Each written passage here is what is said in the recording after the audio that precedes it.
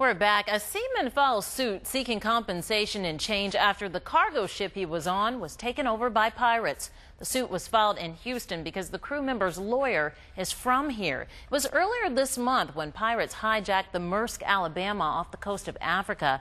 The 20 crew members were able to fight them off. The captain, Richard Phillips, was taken hostage for several days before the Navy was able to rescue him. Here's 39 Steve Simon with more on the lawsuit. Richard Hicks is on dry land, and he will likely stay away from water for a while because three weeks ago he was on board this. I'm not over it yet. I'm not quite over it yet.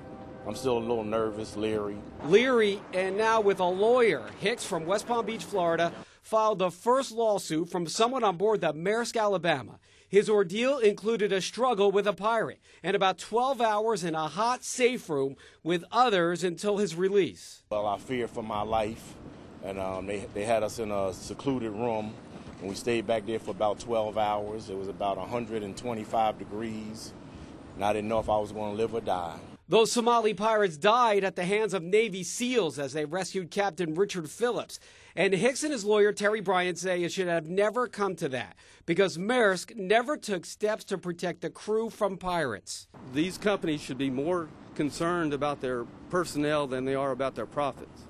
Bryant says the company should have used things like sonic devices that emit high pitched noise or even barbed wire on the side of the ship. The lawsuit asks for more than $75,000 in damages.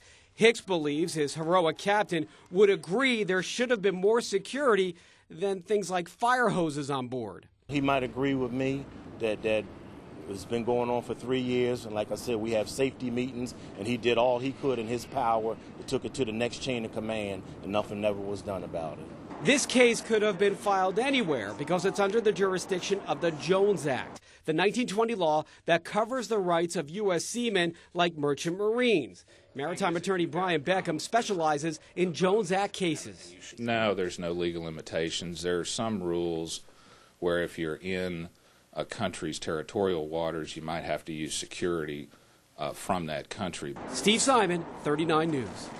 Hicks, by the way, was a steward on the ship and helped run the kitchen. Attempts to reach both Maersk and Waterman Steamship Corporation, the defendants in the lawsuit, were unsuccessful.